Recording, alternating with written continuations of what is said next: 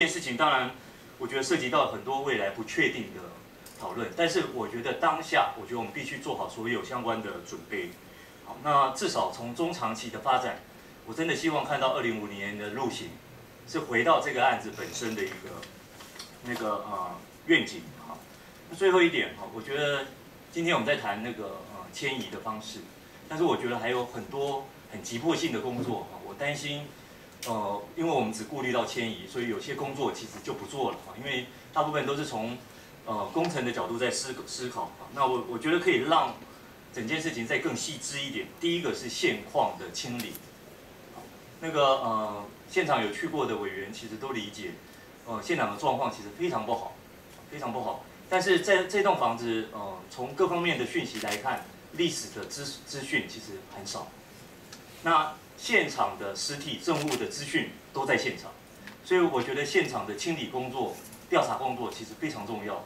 那这个工作必须马上开始。那另外一个就是那个呃所谓的这个保存的调查研究工作，呃，当然在我们当时候指定的时候啊，事实上王世娟老师为了先提供一些资讯啊，给现场的委员做讨论啊，那但那时候其实很快速的完成了一个初步的调查。但是我觉得基于文资法，啊，每一栋呃历史建筑，每一栋古迹，其实它都应该有很好的调查研究。那我觉得，呃，只要赶快做，我觉得都不慢。那这个工作，我觉得跟现况清理的工作一样重要。那我想先就呃我们今天讨论的第一个议题，我大概先提供我个人的三点意见给各位参考。好，以上谢谢。谢谢中能够拨空到我们这个网，就是。我还是回到要谢谢之外呢，就是说我们还是希望就是说大家都开放来讨论嘛，哈。呃，刚才委员的发言都有一些不大一样的方向，但是呢都给我们很大的启发。我想在这样的一个基础上面呢，就是说刚才文化局提到的，就是说保存是一定要做，市政府尤其市长一直交代，就是说这个保存一定要做，但是就是说怎么来探讨一个最大意义的这个保存的方式。不然我还是再一次的谢谢大家。那我们是不是再请一位委员跟我们指教，以后我们再来综合吧？主席，是。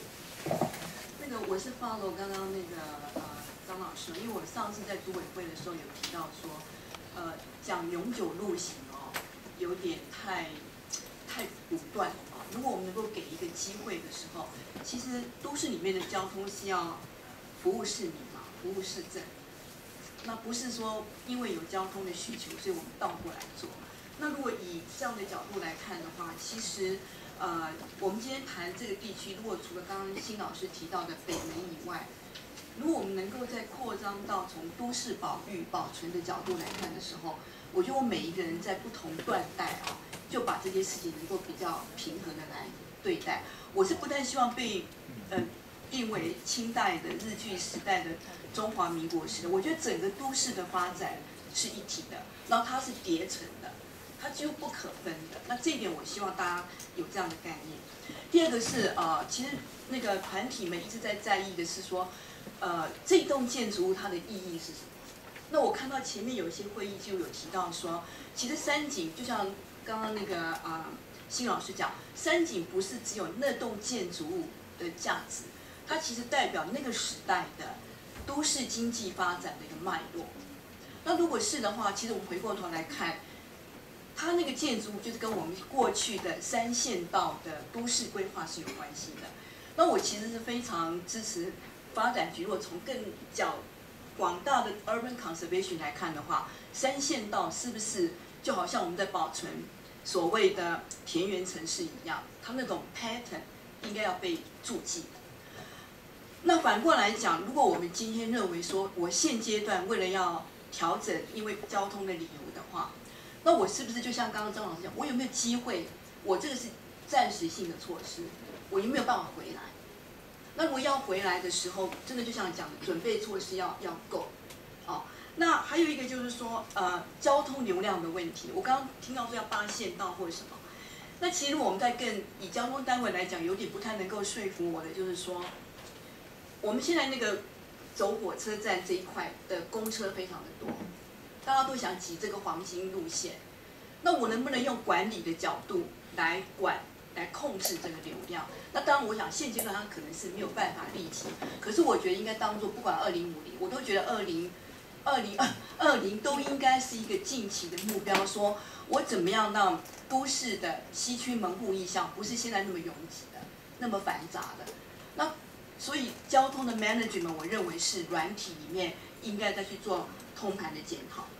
最后一个就是说，假设三线道这个历史文理这么重要的时候，那个那个建筑物都移的话，我有没有就像刚刚讲，如果你实体不见的话，我根本不晓得以前的住迹是什么。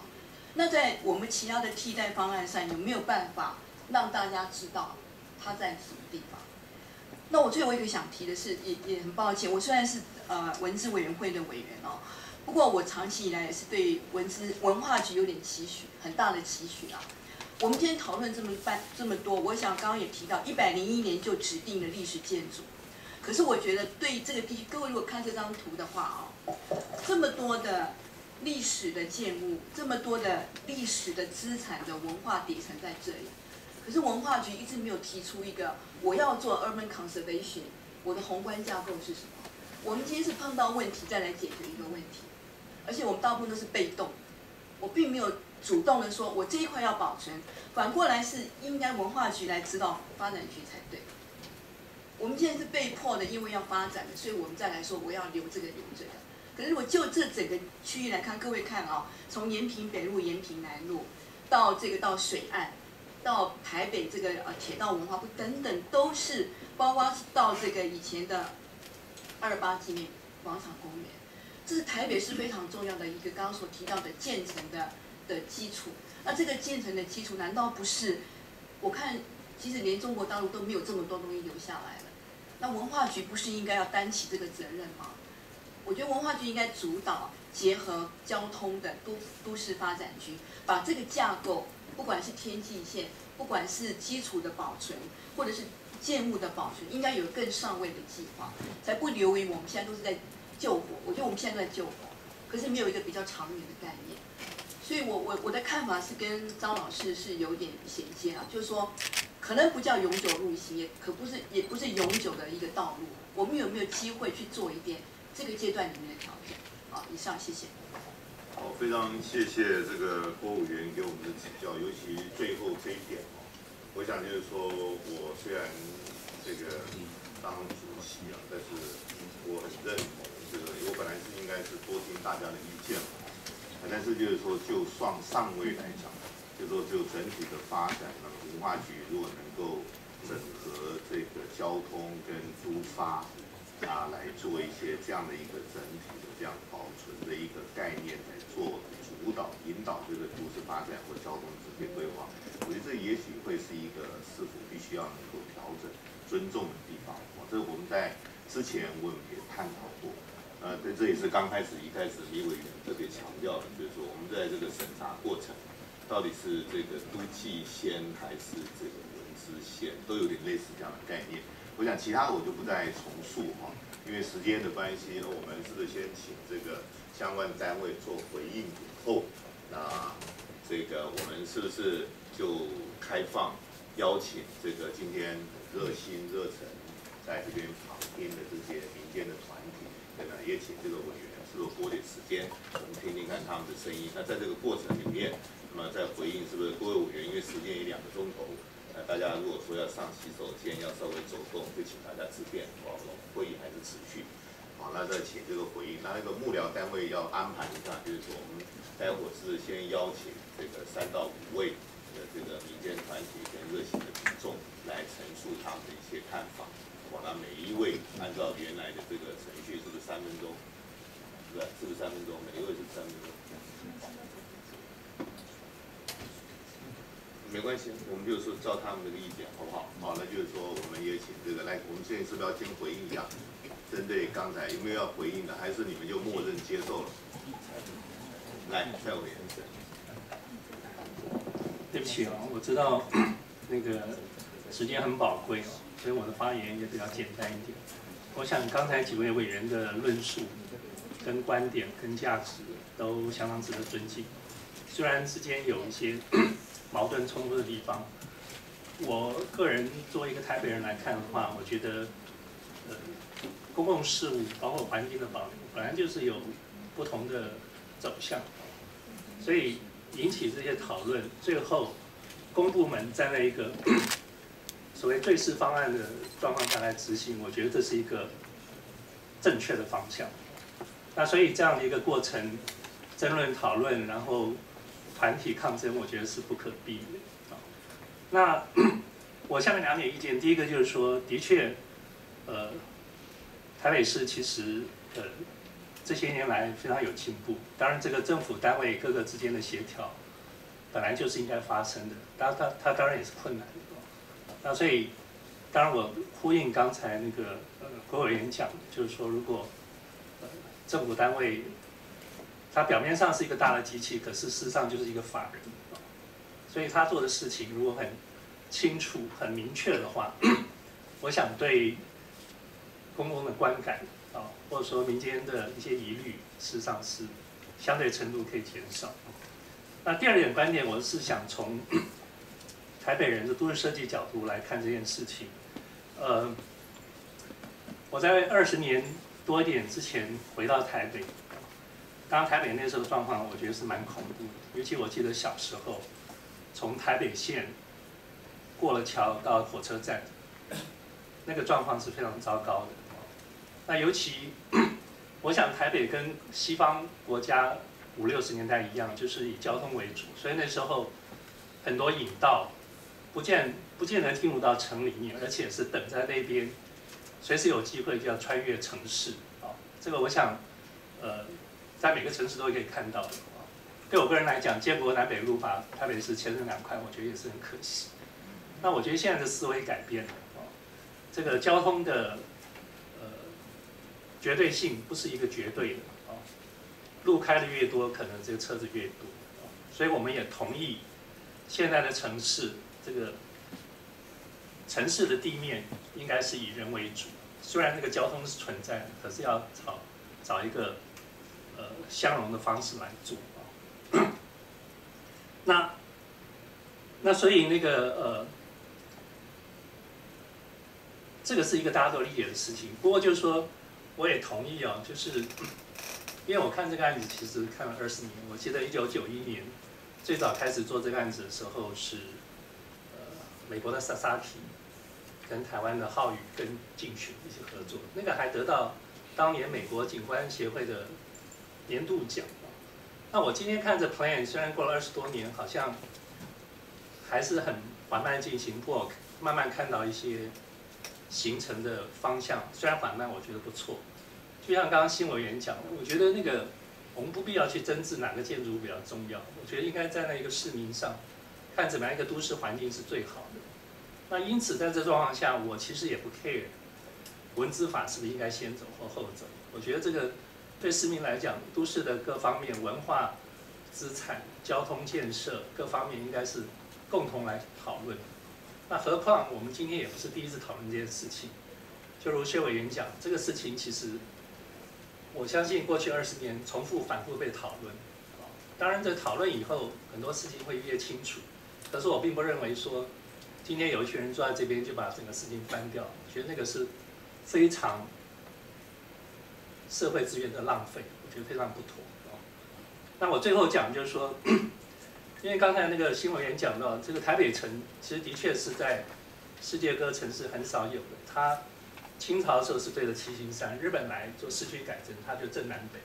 所以那个火车站前面这个广场这个角度，刚好是反映到这两个时代的轴线。那那一点刚好是北门，所以我想从都市角度的观念来讲，它是非常。呃，敏感，然后有趣又有挑战的一点。那我也知道，就是说，以这个不管叫西区门或台北车站，其实在当今世界上这么小的地区，要解决大量的交通转运跟商业活动，其实是一个呃少有的一个一个一个机会。那我觉得这东西我们做的虽然不是一个百分，可是我觉得是朝向一个对的方向，因为。因为其实就是都市交通跟人这个转运它的效率，然后我们现在还要在这里面谋取到一些可以有使用的都市空间、人的活动、古迹的保留。我觉得这个是，呃，我觉得不是当委员了，我想这应该所有台北人的期许。所以，所以我刚讲这个这几件事情，大概是认为说，我们对很多事情都有一个严苛的要求。不过有时候，其实也不要那么紧张啊，就回到平常人的观点来看这件事情。反正都市也不是一天造成的，我也不必太焦虑二零五零年会长什么样子。我当然知道现在八线道是存在的，因为再少，大概市区就走不动了。这些讨论其实过去都大量的发生，非常清楚。所以，所以我我其实还是在这边呼吁，就是说，呃，作为一个都市环境，我觉得比较有建设性，大家提出自己的看法，可是不要坚持，然后想办法找出一个共同的公约数来进行。以上。好，谢谢。呃是不是容许我们就开始邀请这个来热心旁听参与的这些这个活动或者代表？那个是不是可以请他们进来？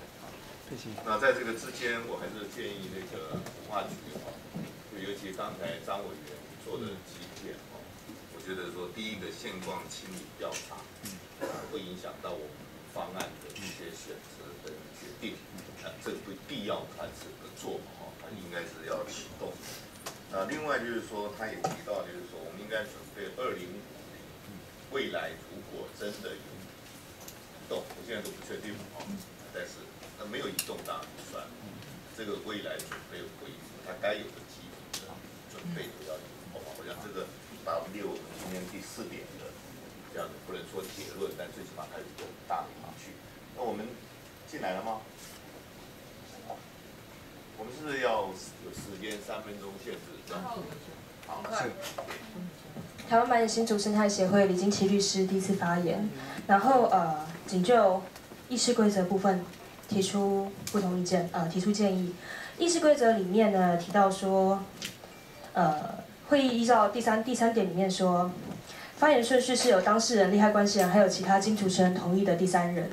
那刚刚我们在外面呃，温室团体跟工作人员发生很大的争执，是说，因为他们是有收到开会通知，而且名列在开会通知上的列席者，但是他们却被要求跟像我这种没有收到开会通知的旁听者一样，都要填发言单，然后呢，也只能有三分钟的发言。他并没有，呃，因为他的名字或者是他们特别收到这个市政府的公文，而且是公文正本，而有就是不同的待遇。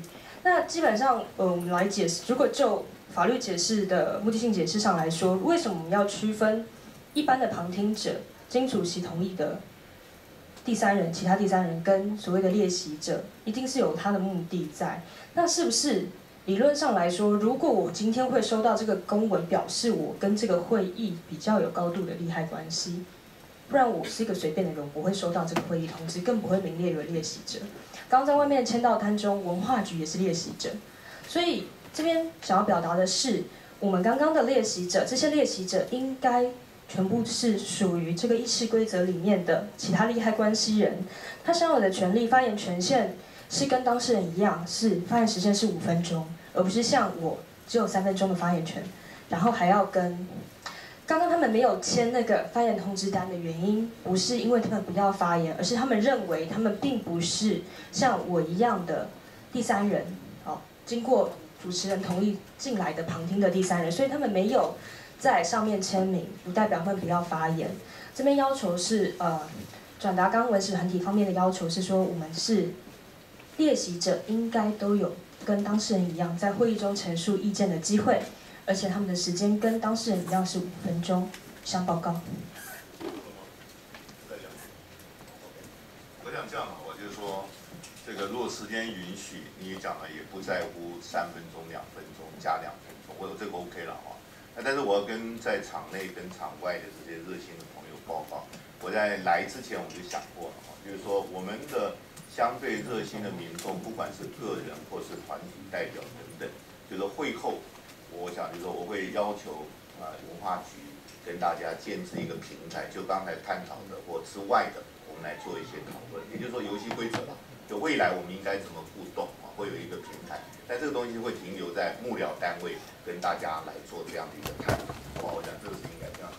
呃，其他如果还要发言，哦，主席，我补充一下，呃，意思是说，他们的意思，他们其实不是不只是说什么呃一般热心关心本件事情的民众，他们事实上是这场会议的开会通知箱，开会通知单上有列名的列席者，他们应该有是他们的发问权，他们讲求的是他们发发言的权利，而不是说呃我今天当然表达他们的意见，或是我们呃公民团体的意见是非常重要的。那也很感谢主席刚刚有说会后有给提供这个交流的平台，当然这个很我们我们很感谢，但是我们是希望说可以可以这些名列这些开会东西相当，他们这些发言这些列席者，就像我刚刚说的，这个我们今天的议事规则如果这样子定，它这样子区分是有它的意义存在的。那他们如果他们是利害关系人的话，他们应该是可以在会中发言的我。刚才已经回应了，哦，有会后有他的解决方法。现在如果是，都可以进来来登记五分钟。所以您是说现在如果他们可以进来要发言，可以进来登记五分钟发时间。允许。时如果你间允许现在进来三十个人，那我们开到晚上就没办法。我们今天的会议预定在五点钟之前要结束，好不好？所以现在如果一个人五分钟的话，有我们还有综合讨论的时间嘛，好吧？就是说在这样情形，啊、大家如果要发言，是不是看重要代表或者具体代表？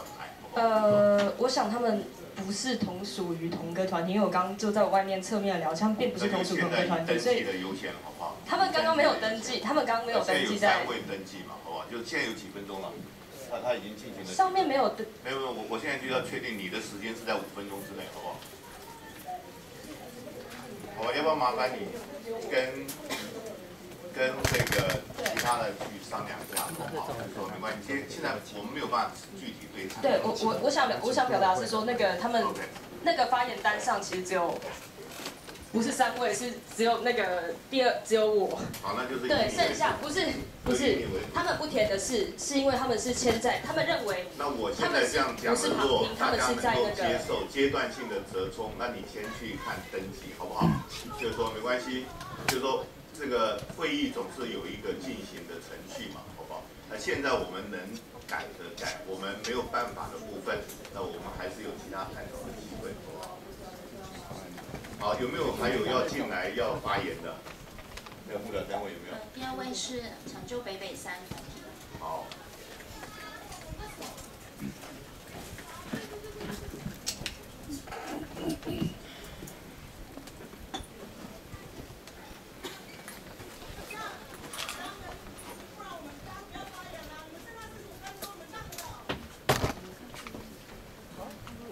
在这个过程，我们委员还有没有指教的？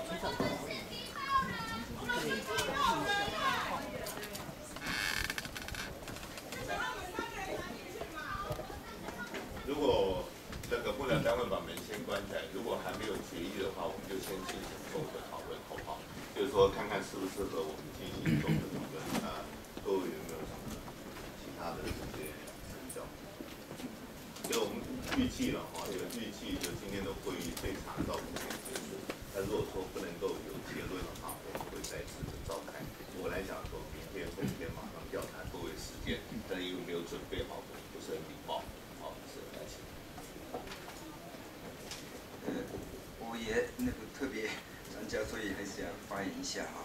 我的意见大概前面的呃那个几位委员哈一样的哈。那三井的建筑物啊，就是现在还在那个什么时候盖的，那建筑的年代不清楚，所以应该要再呃详细调查，这个是一定要需要哈。另外一个哈，三井建筑哈的那个价值啊，不只是建筑的价值而已，就是建筑的价值，呃，建筑的价值啊，可能是也很高，因为那一带有也有很老的这个样式，应该相当老的，快呃将近一百年的有有可能，哎，那所以但是呃三井的建筑的价值啊，不只是建筑的价值而已，要是建议的话，就是重视建筑的价值而已哈。呃，我另外一半的那个价值是那个位置哈，那个呃，刚才其他委员呃说的哈，三线道路的旁边啊，跟台北呃邮局还有三井的那个中间大概四十米的工作人员帮我们发一下，好不好？你们还是好，麻烦四十米呃四十米的价呃那个距离哈，我想这个也很重要，这个都那个之前大概大家都讨论哈建筑建筑的价值，但是呃现在在这里的一个那个山景的呃很重要的价值是都市史，都市的历史的价值。啊，所以大家都没有讨论，就是那个呃清朝地区啊或者光复后或者一些近代的哈。这种呃各种时态的那个都市的发展的这个历史哈，三期就是有这个部分就是呃我特别要提醒一下哈。上好，谢谢委员。那我们是不是还是请您这边直接发言好不好？老师，我们要澄清，我们其实也不是一般的猎奇者。我们昨天晚上，昨天下午下班前，已经送出了三百份的古迹跟文化景观的提报单。为什么今天在文化局的简报里面从来都没有提呢？这是第一点。二，我们在坚持利益回避这件事情，或许在法制上面没有明确的理由，但是是有根据的。一，我们要说，在都市计划委员啊委员会里面，杜发举其实没有把民众工作坊里面民众提出的第八案放进去，我们有一个消失的第八案不见了，嗯。这是第一点，行政上面的瑕疵。第二点是，在讨论三井怎么移动，在迁移的功法里面有平移跟拆除两种方法。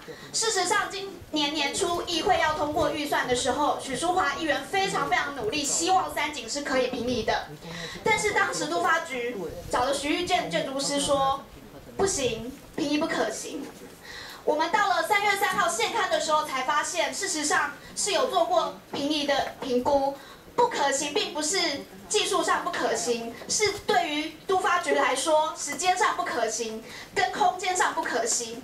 那这样子资讯的隐匿，怎么能够充足的让都市计划的委员跟议员们了解呢？这是第二点之一。第三点，公务局的角色，为什么我们认为公务局应该回避？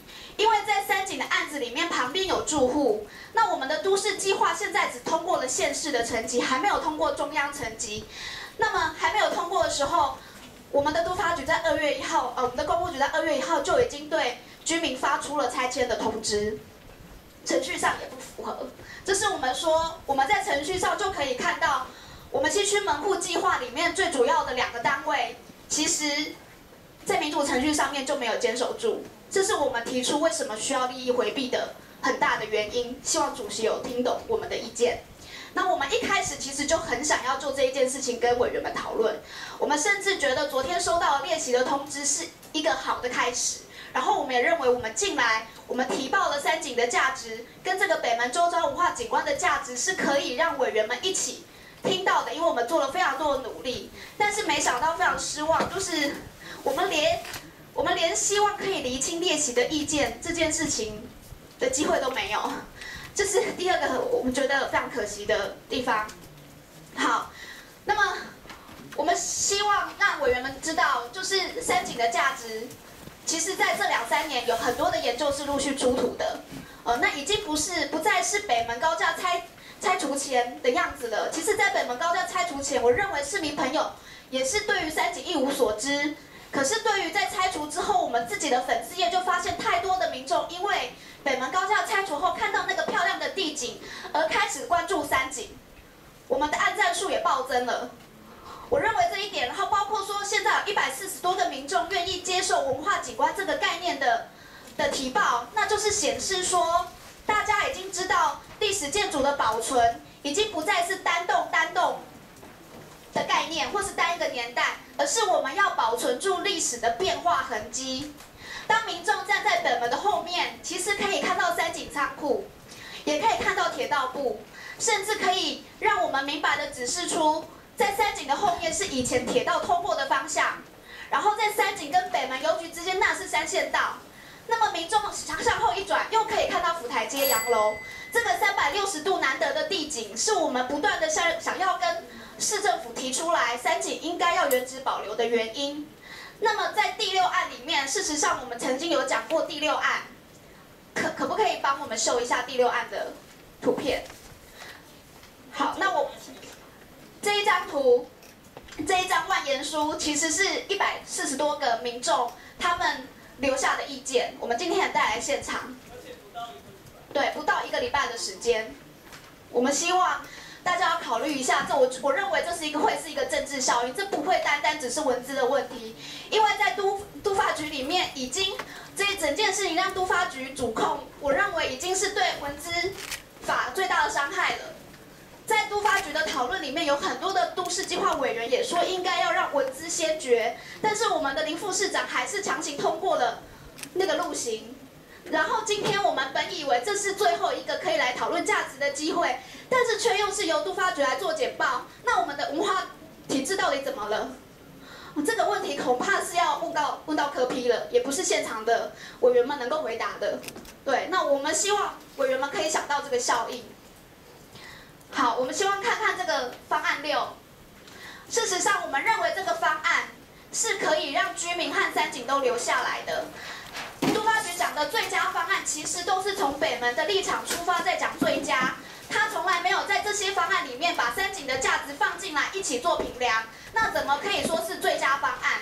我们当然也知道我们的方案六不是最佳方案，因为我们诚实，我们诚实的面对。北门的南边会有一条道路，让北门变成一个小一点的广场。那事实上，北门不是孤岛，因为在交通局的方案里面，北门也是孤岛，但就是一个比较大的孤岛罢了。那我们要说，事实上现在的路行跟现现行就差不多了，民众并没有因为破碎而不愿意接近北门。再者，一直我们一直强调亲近亲近亲近这件事情，到底在说什么呢？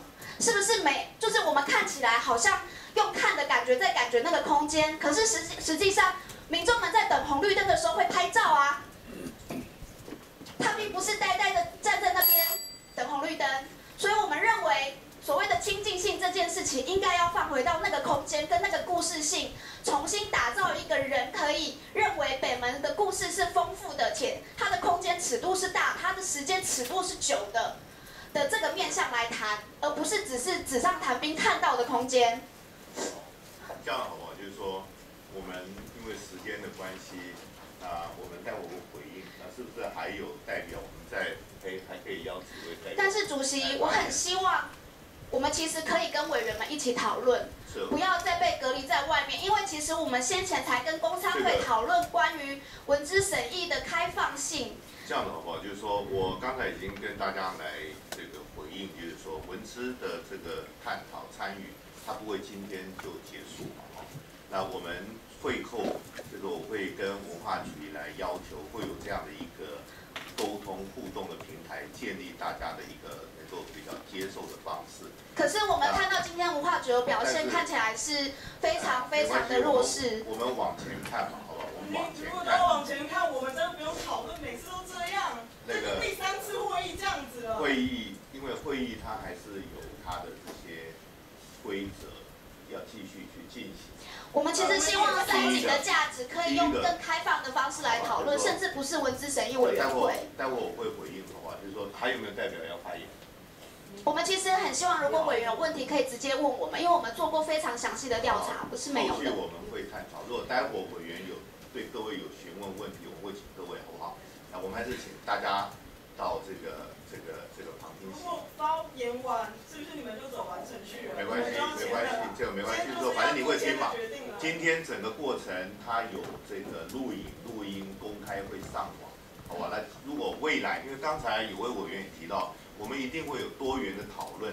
虽然没有办法让每一个人都一百分的接受，但是它会是符合大众的能够接受的及格范围。我有，那我我有一个建议，那我们可不可以今天起码要就提报案的存在这件事情做一个讨论？好，这个我待会请那个文化局来作业，好不好？那我们还是到那个旁听席，我们真的进行，好不好？谢谢，谢谢，这个麻烦麻烦就我们真的我们是旁听，不是练习哦。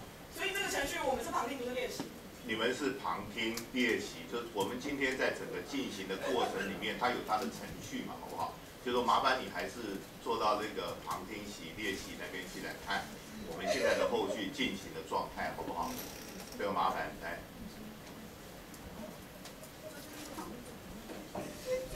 那个主席还有那个文化局的，嗯，应该是人民的公仆吧？我我不想称长官。然后还有各位委员。这个刚刚我们有提到，这个是一个星期。首先，那个三百多份的提报，那个提报案是我们在二二八连假三天在北门那边，我们用短讲，然后吸引人来听，听完以后他们会发问题，然后我们来跟他说明。大概那一百三十五份北门现场签的提报单，平均一份可能要花十到十五分钟，跟民众说明这个问题。那我必须要讲，现在时代不一样了。刚刚薛委员说，以前一百零一年的决议要让它承袭下来，可是我必须要声明，人民的意识是在改变的。在以前，因为文资本身文化资产，它是有一个知识专业的门槛在那边，不是这么多一般公民可以接近的。但是只要能够我们的教育体系，我们的社会能够提供他们认识文化资产或者是美学，其实大家有可能他会做出不同的价值选择。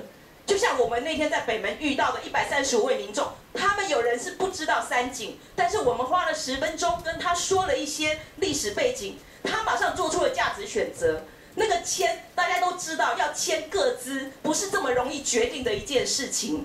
但是我们用十到十五分钟说明了北门石基群的故事，他们都愿意提供各资来加入提报这个动作。那网络上面的一百，其实实际上是有一百五六十份，但是有一些可能是格式的问题，我们没有列印出来。同样的，也是在这一个礼拜以内收集到了，这些都是民众意识在改变的一个依据。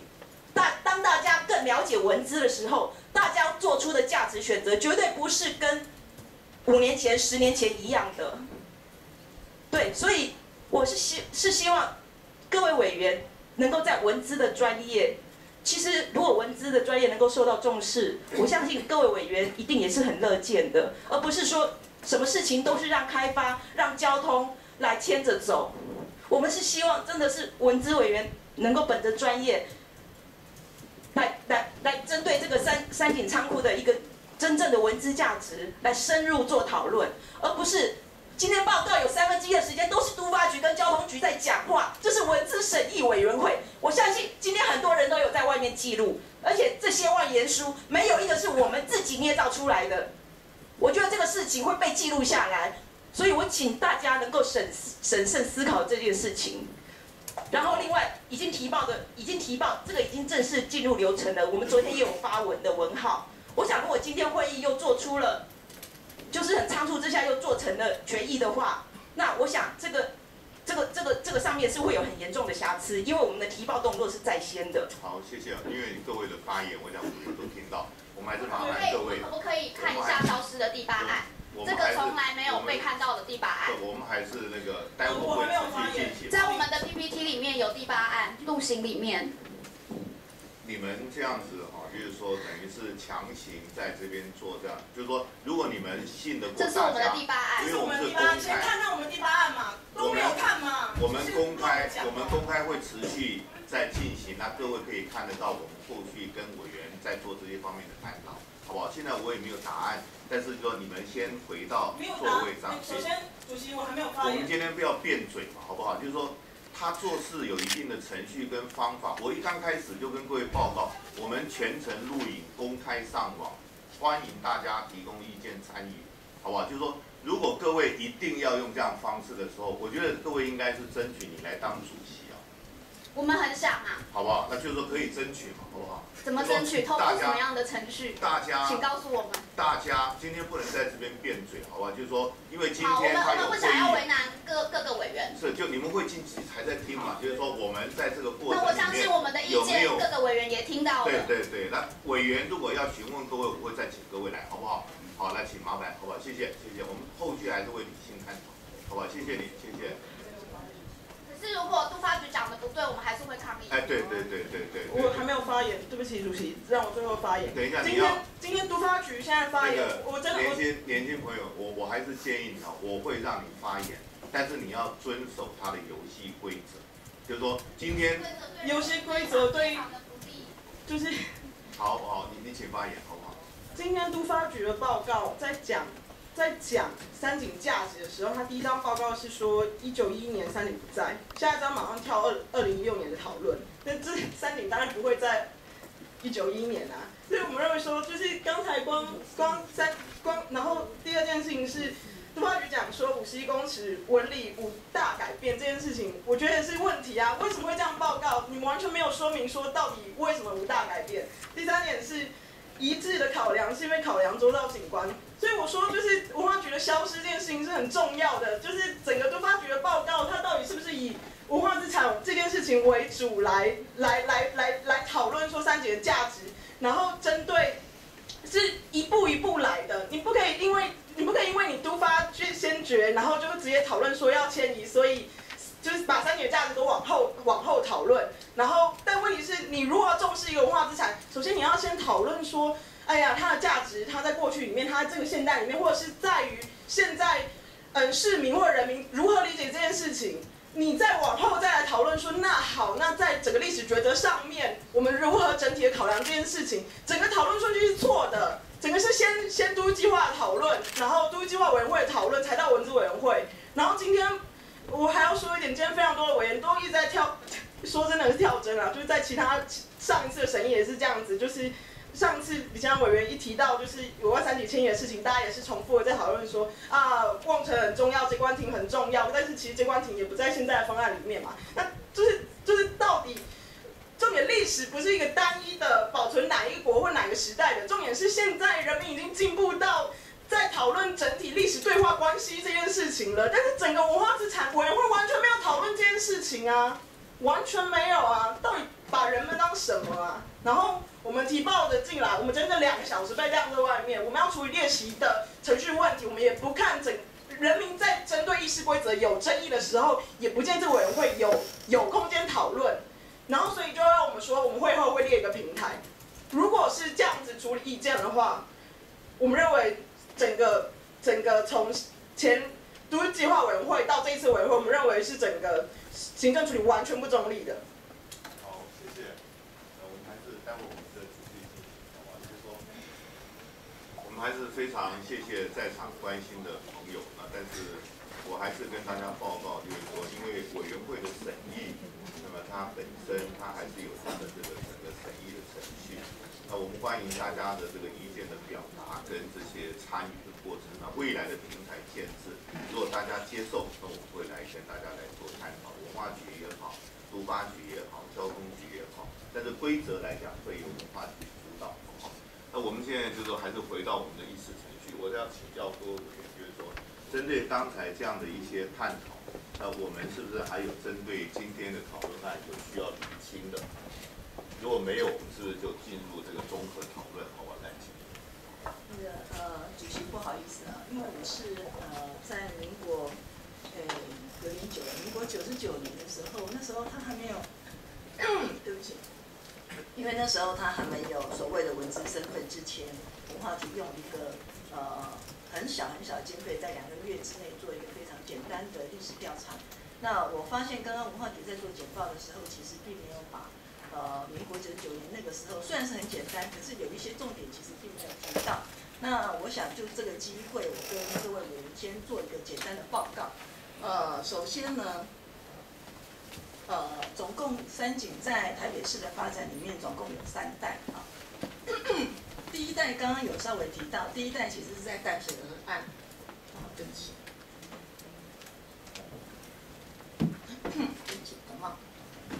呃，第一代是在淡水河岸。那为什么第一代在淡水河岸？是因为初期的时候，清末到日治初期的时候，那时候是以河运为主啊。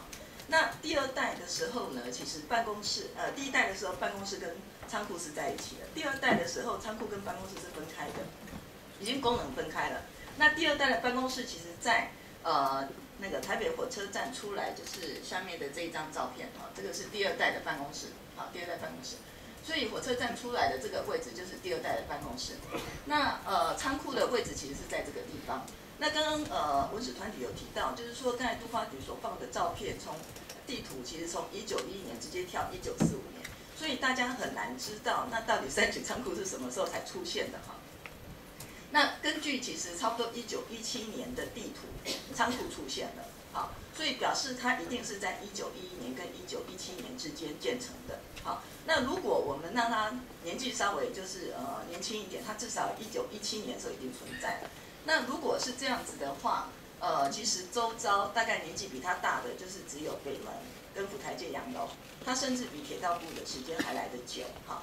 那呃，当然年代这个是一个呃历史价值判断上面的依据。那另外一个是刚才提到，就是说它其实从原来的淡水河畔搬到前面，就是这个位置，就是火车站的前面，跟包括呃，其实铁道部那时候已经在新建了，铁道部的旁边而已，哈。